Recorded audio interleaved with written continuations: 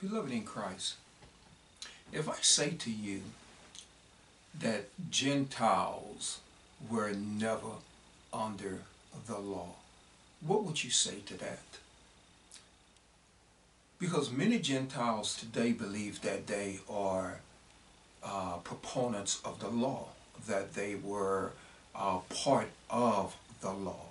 The law belonged to the Jews, the Jewish community. God gave the laws to the Jews, not to the Gentiles.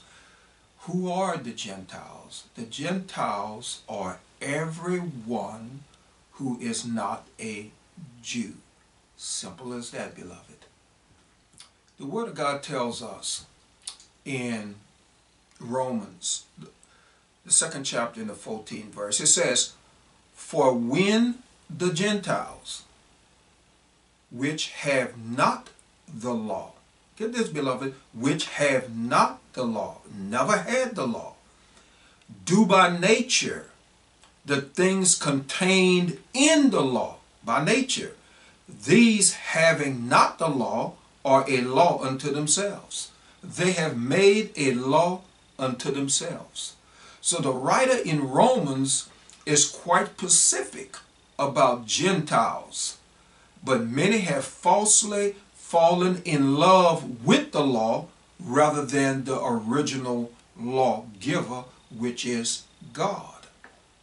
You know, and many times people struggle in their lives and struggle with certain sins in their lives and they don't understand why. Because they have made to themselves a law that does not exist for them.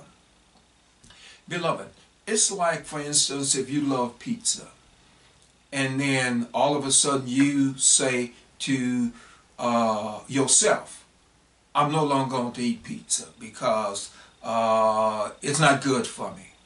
And so you make a law unto yourself that pizza is not good for you. But beloved, it's not that it's not good for you, the fact that you made it a law unto yourself. And that's what the scripture tries to define for us. That the Gentiles were never under the law but yet they have created a sense of being controlled by the law when you and I, who are Gentiles, ought to be controlled by the Holy Spirit of God. And I don't see why that is such a difficult thing for someone to understand. If I'm following the Spirit of God, then I am following the law of God by simply following the Spirit. Beloved, David, Moses, Elijah, they followed the law of God. But today, we as Gentiles and Jews now who are born again, they follow the Spirit of God.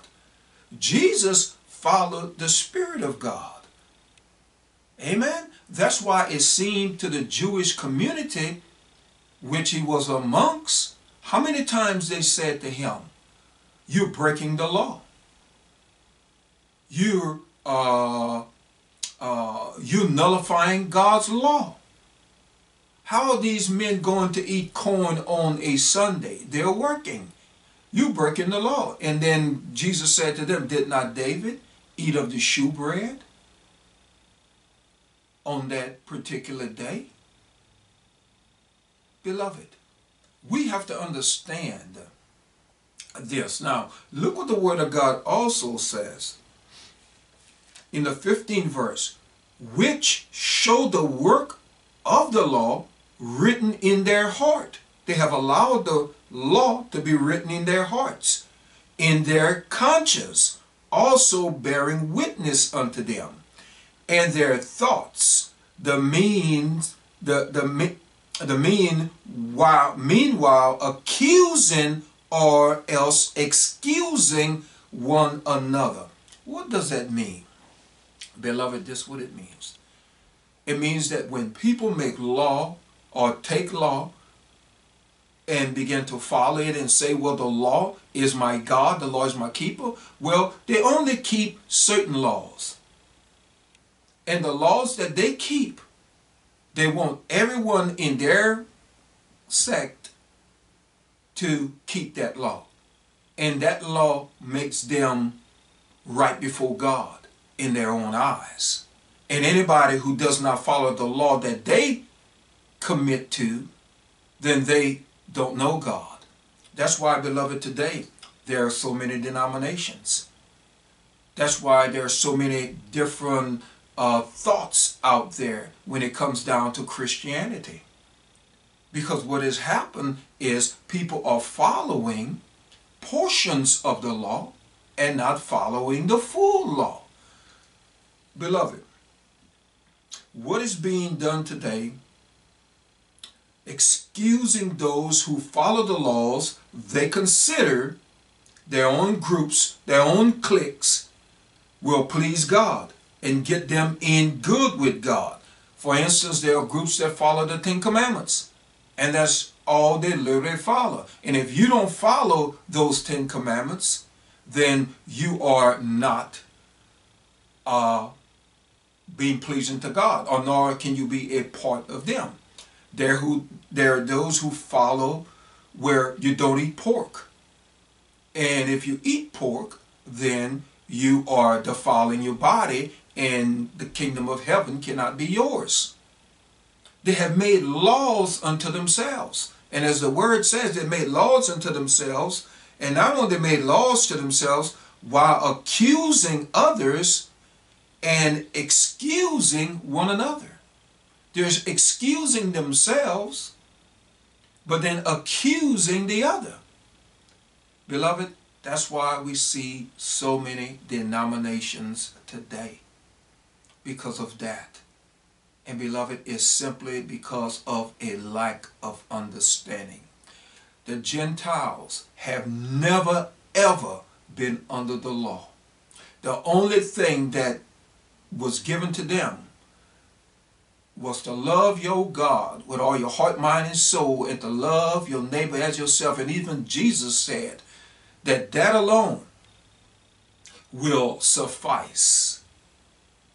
And so, beloved, until we get that understanding, we will find ourselves struggling with the law because we done made the law unto ourselves.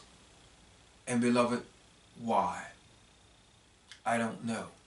But I believe people desire to be different from others. And so they'll do anything. And as I said before in an, in an earlier lesson, if you cannot fulfill the 699 laws that is within God's word, then, beloved, you cannot fulfill what the Lord calls for, and that is faith and trust in the Lord Jesus Christ and not in your own ability to keep the laws that even the Jews was not able to keep. Beloved, may the Lord bless you this day in Jesus' name.